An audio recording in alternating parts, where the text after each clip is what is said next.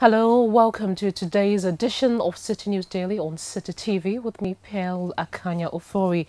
Coming up today, Ghana Health Service calls for calm among residents in the Ashanti region following an outbreak of African swine fever in three districts in that region. Stay with us, we have the details on the story and others.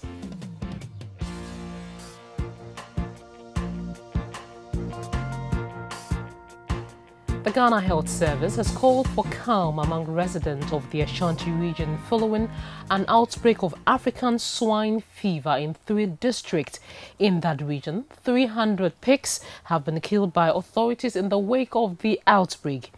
The situation has caused panic among consumers of pork in that region as the Veterinary Service Department works to bring the situation under control. Well, last year, the disease resulted in the killing of some 6,000 pigs. Speaking to Citi News Daily, the head of disease surveillance at the Ghana Health Service, Dr. Franklin Asiedu Bekoe, said humans cannot be affected uh, by the outbreak. Uh, let's stay with the story because the Veterinary Services Department is reporting of a suspected outbreak of African swine fever at some piggeries in the Greater Accra region. Speaking to Citi News Daily, the head of public health at the Veterinary Services, Dr. Bashiru Kikimoto, allayed any fears because he says the disease is being contained.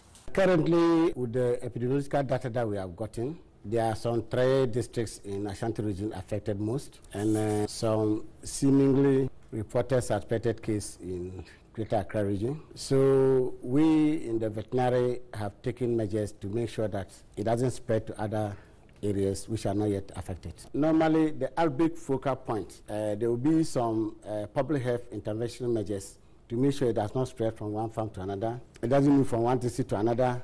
So the first thing is to ban the movement of pigs from one district to another, and then also to make sure that we enhance biosecurity measures, uh, because that is one of the main things which most farmers don't take into consideration. And then with veterinary stamping out the affected farms. For this disease, when it, there's an outbreak, whether the pig is affected or not, all those pigs on that farm have to be slaughtered. Uh, that is sanitary slaughter and then disposed. Because we don't want the meat to be taken to other places that will also spread the disease. Let's go to the central region because it appears the new Kotokoraba market in Cape Coast will remain closed to traders for a long time.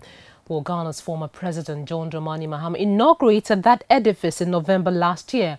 Our correspondent in that region, Joseph Akon Mensah, visited the market and said it has since remained unoccupied.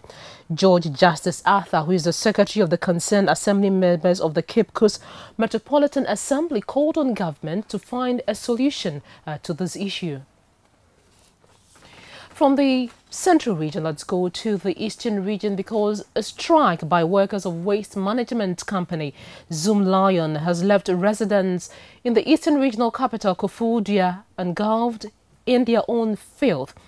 The workers embarked on a sit-down strike. They say they are not being treated fairly by their supervisors and they have not been paid for the past eight months. Our correspondent Ni Amati Kaneko reports that rubbish has been heaped in various parts of the municipality. Now, the Speaker of Parliament, Professor Mike Oquaye, has tasked the leadership of Parliament to within a week come up with a practical approach towards dealing with bribery allegations involving parliamentary committee sittings outside Accra. The directive follows recent allegations that the National Lottery Authority, that's the NLA, paid over 150,000 Ghana cedis to facilitate the passage of a bill last year.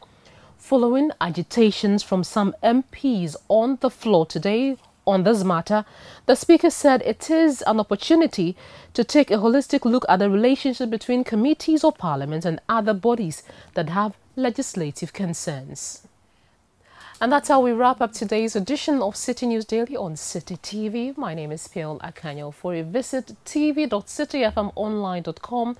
For more news, you can also visit our website, citifmonline.com. We have more stories there.